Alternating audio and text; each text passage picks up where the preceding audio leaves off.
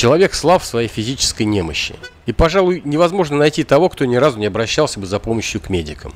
Существует огромное количество серьезных болезней и легких недугов, но в полном списке врачебных специальностей указано всего лишь 60 медицинских специализаций.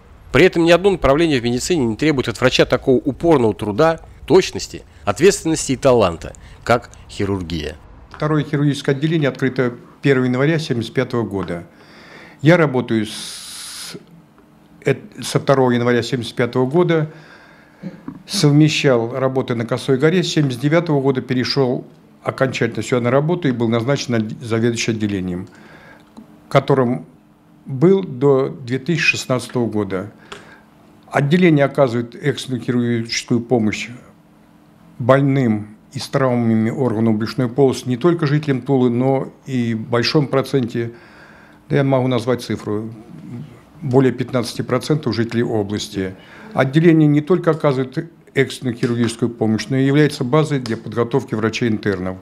За это время подготовлено более 50 врачей-интернов.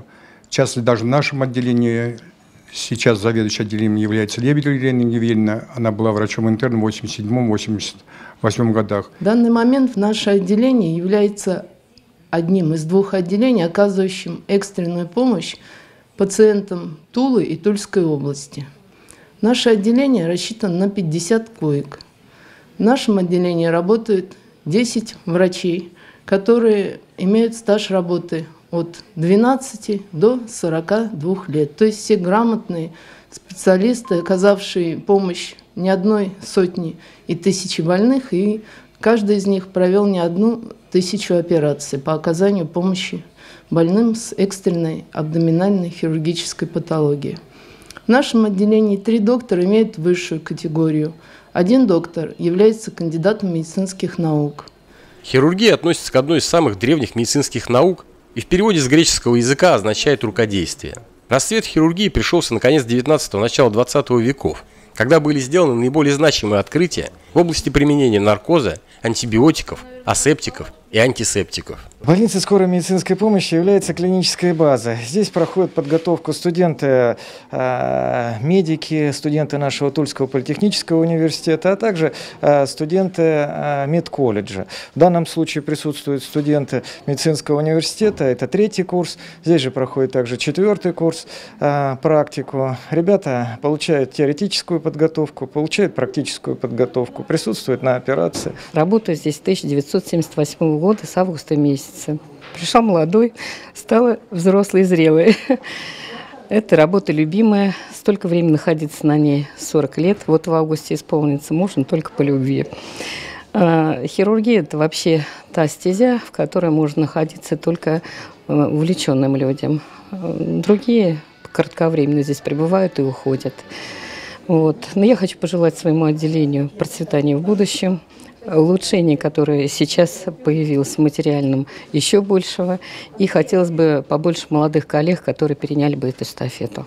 Хирургическое отделение номер два в Аныкинской больнице оснащено по последнему слову медицинской техники. Имеющееся в распоряжении врачей медицинское оборудование позволяет производить сложнейшие операции.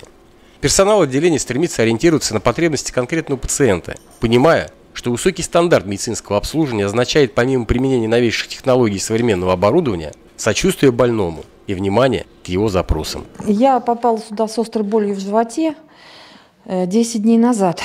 Но сейчас мне уже очень, очень хорошо, благодаря нашим э, докторам. Ну, относятся к нам очень внимательно и быстро ставят на ноги. Нянечки здесь очень добрые, Чистота кругом вообще идеальная просто чистота. Я нигде в других поликлиниках и больницах такой чистоты не видела. Отправляясь на операцию, человек вверяет данную Богом жизнь в руки врача, доверяя ему больше, чем самому себе. В 2008 году меня руку положили в священники нашей Тульской епархии, митрополитом Тульским Ефремовым Алексеем. Вот. И на данный момент я совмещаю служение у престола Божия и служение у операционного стола. В 2000 2013 году на территории больницы, тогда еще Симашко, нет, на территории больницы Ваныкина была построен, был построен храм в честь святого праведного Иоанна Кронштадтского, настоятелем которого я являюсь в данный момент. Храм востребован среди больных, большое количество людей обращается за помощью Божьей. Поэтому мой утренний день начинается обычно с 6 часов утра, когда приезжаешь сюда с целью, чтобы исповедовать больных, причастить тяжелых, тяжелых больных, соборовать их. Вот. А потом уже в 8 часов начинается рабочий день и продолжается порой до 8 часов утра следующего дня. Вот. Каждый день, который проходит здесь, день новый, день уникальный по своей, по своей специфике. Почему? Потому что каждый день он подбрасывает тебе совершенно новых больных с разными диагнозами. Могут привести с ножевым ранением, могут привести тупую травму, могут привести ДТП, могут привести человека с желчекаменной болезнью. Огромный спектр разных хирургических заболеваний. Поэтому ну, скучать не приходится. Конечно, и особым особняком стоят умирающие больные. Больные, которые попадают сюда, когда уже хирург бессилен. Это, наверное, наиболее тяжелая категория больных – которым надо найти не только медицинский подход, но и подход духовный. Многие люди хотят исповедаться, как последний исповедь и причастие в своей жизни. Поэтому, конечно, приходится затрачивать очень много и своих физических, и духовных сил – но в то же время я всегда благодарю Богу. Почему? Потому что исповедь умирающего человека никогда не сравнится с исповедью человека, который приходит в храм на божественную литургию. Поскольку эта исповедь, это исповедь от чистого сердца, это последний крик души. И такие исповеди, они очень много дают и для священника в его духовном развитии. Православный человек понимает, что болезни есть наказание за неправильный образ жизни. В экстренной ситуации врач может спасти жизнь человеческую, но в руках человека избежать проблем со здоровьем. Для этого по совету великого хирурга и святителя Луки Крымского следует идти срединным путем, подражая милосердию апостолов и их деятельной любви в служении людям, а также, хоть в малой мере, подражая монахам, молитвой и постом, победивших плоть и похоти, чтобы омытым слезами покаянием сердцем служить Господу.